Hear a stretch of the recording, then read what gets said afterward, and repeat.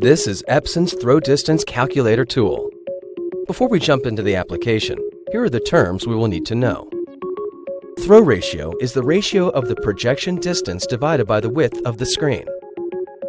Most projectors have a zoom range, like 1.0 to 2.0. While maintaining the projection distance, you can adjust the size of the image by zooming in and out, which changes the throw ratio.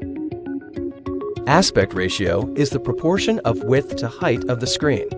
The most common ratios are 4 by 3, 16 by 10, and 16 by 9.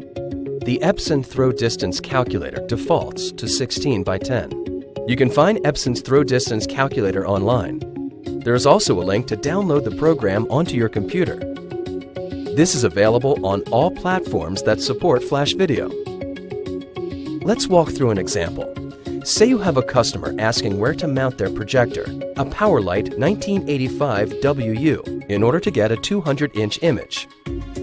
They are projecting in the 16 to 10 aspect ratio. Now, enter the screen size, 200 inches. Simple as that, the application will tell you to mount the projector anywhere between 19 feet 6 inches and 32 feet 4 inches to get a 200 inch image.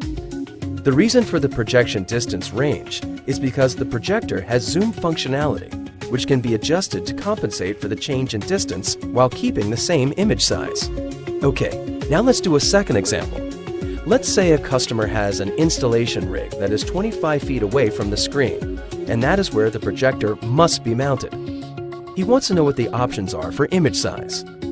Again, select the projector, PowerLite 1985 WU. Select your aspect ratio, 16 to 10. And instead of using screen size, switch over to the Distance tab.